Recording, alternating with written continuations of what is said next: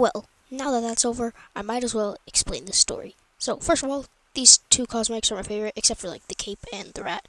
But anyways, uh, I guess I'll explain the story uh, right now.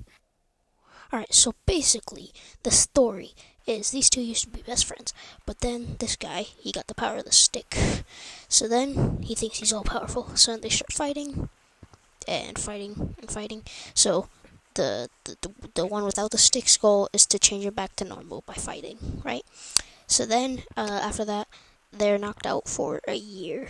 And then, soon enough, after that whole year, they wake up and they forget what happened and they remember their friends.